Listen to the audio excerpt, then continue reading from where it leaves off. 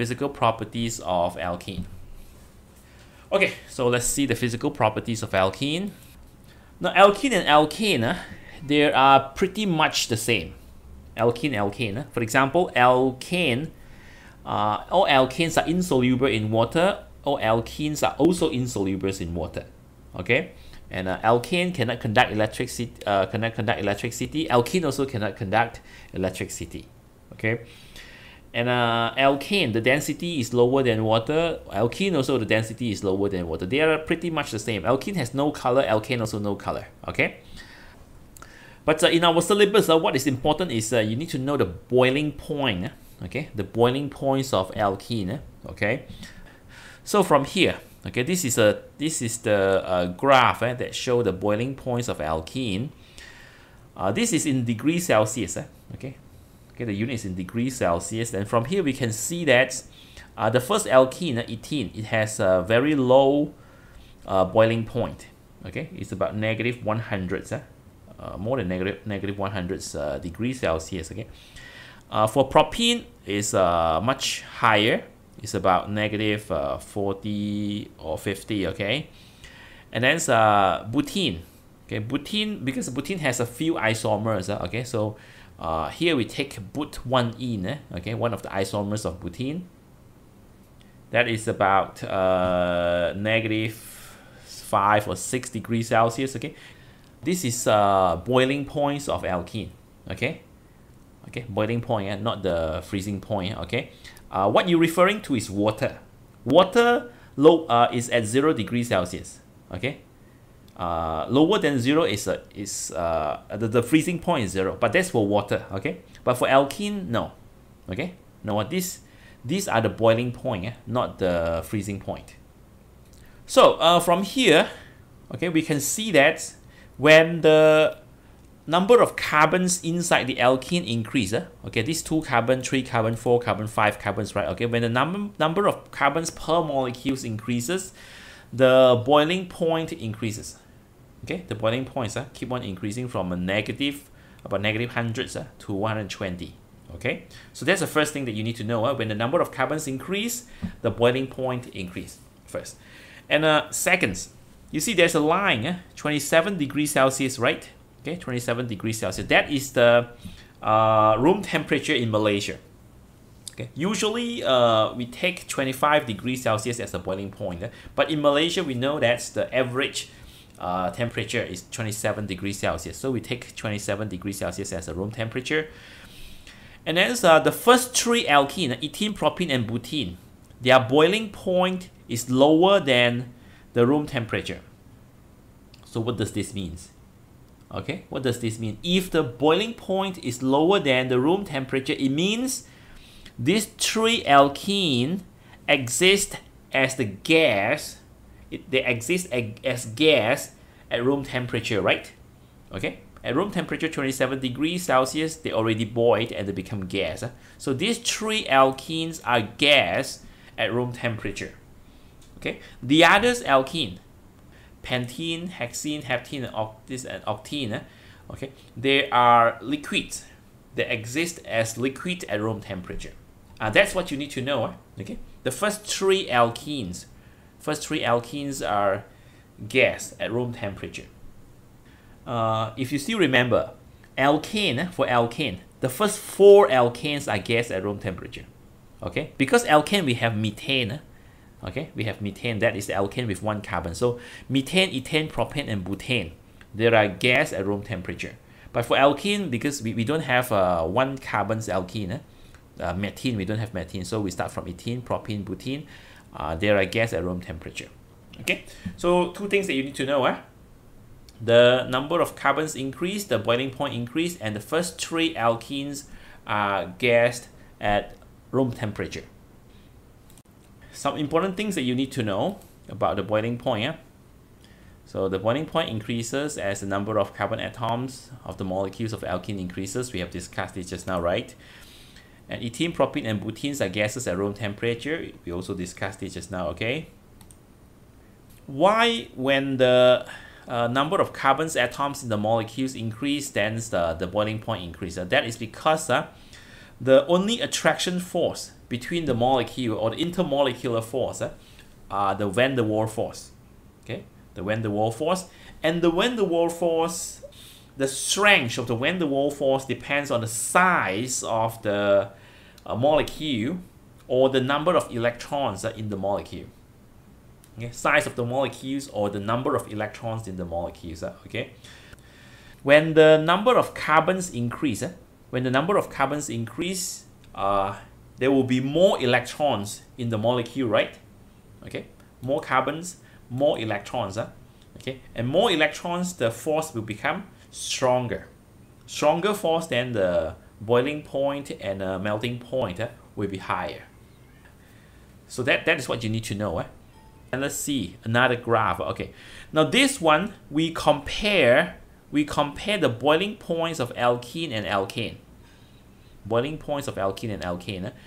So this one uh, is the boiling point for alkane, and this is the boiling point for alkene. Eh? Okay, and uh, if we compare all the boiling points, uh, this one is the alkene, alkane and alkene with one carbon. Eh?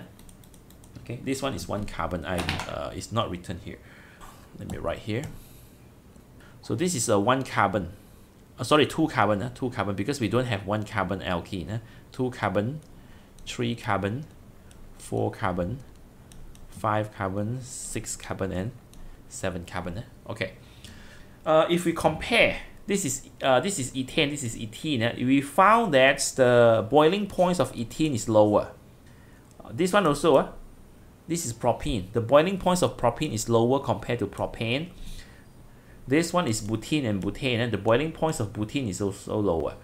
Uh, pentene also is lower, hexene lower, and uh, this one heptene also lower.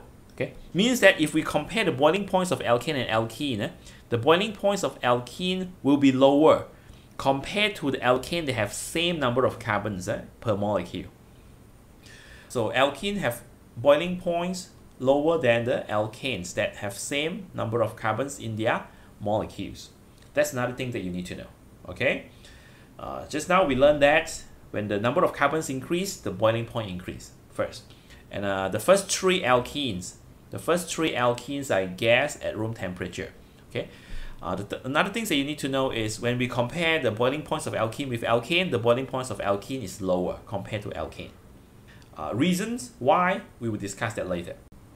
Okay, the first question is uh, explain why alkenes has low boiling point and melting point. I think I gave you the answer just now, right? Okay, so let's see what are the points uh, that you need to give if this question come out in your test or exam. Uh, why alkene has low boiling and uh, melting point okay.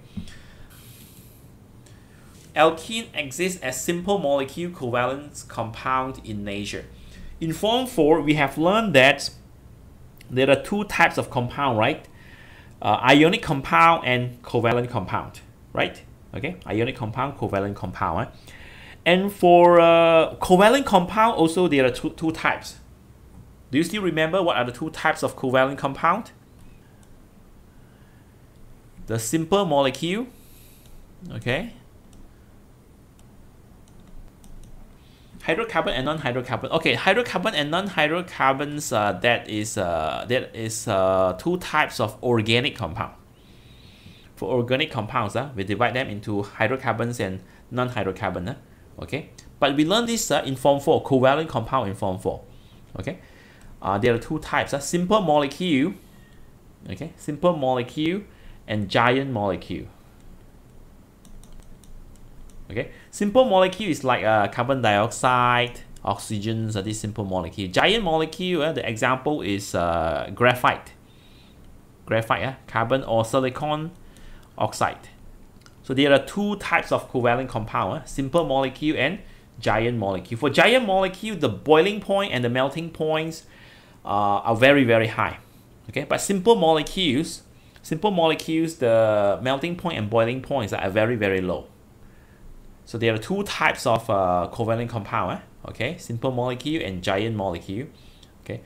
Uh, graphite or diamond, eh? okay? If you still remember, we have learned graphite or diamond, eh? that is uh, the giant molecule. Okay, so alkene, alkene is a covalent compound and is a simple molecule covalent compound, okay? alkenes as is a simple molecule covalent compound. Um, for simple molecule compounds, the intermolecular force, that is the force be in, uh, between the molecule. Okay, so the intermolecular force between the molecule is the weak van der Waals force.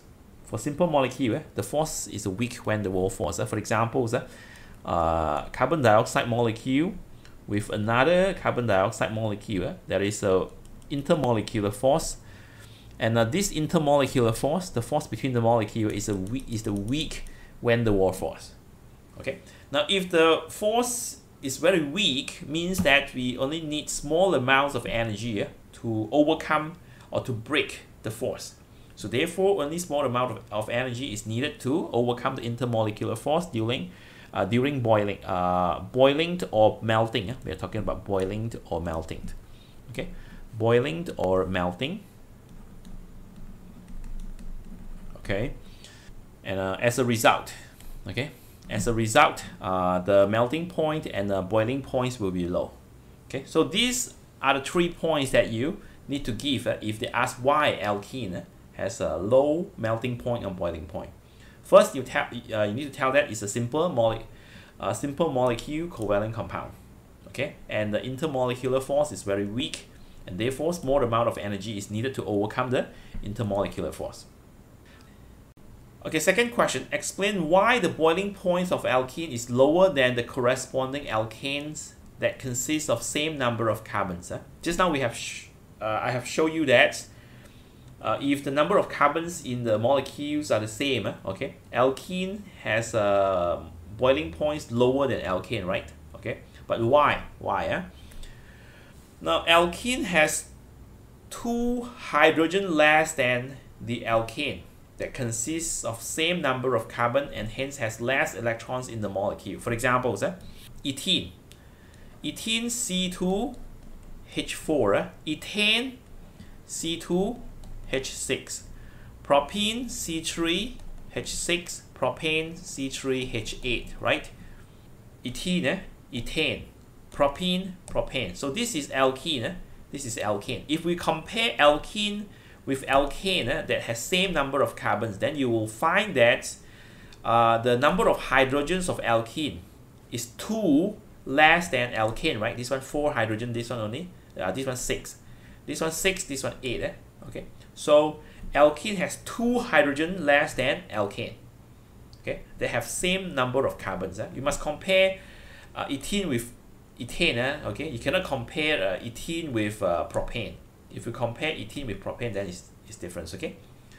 So if it has so if it has less hydrogens it will have less electrons okay? Less electrons and if you still remember the van der Waals force between the molecule the intermolecular force depends on the number of electrons right? Okay?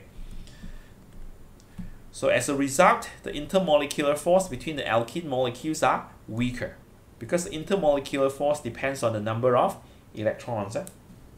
And therefore uh, less energy is needed to overcome the intermolecular force during boiling. Okay, so that's why alkene has lower boiling or melting points uh, compared to alkane because it has two hydrogen less than alkane. So the number of electrons is uh, less and uh, the intermolecular force is weaker. Okay?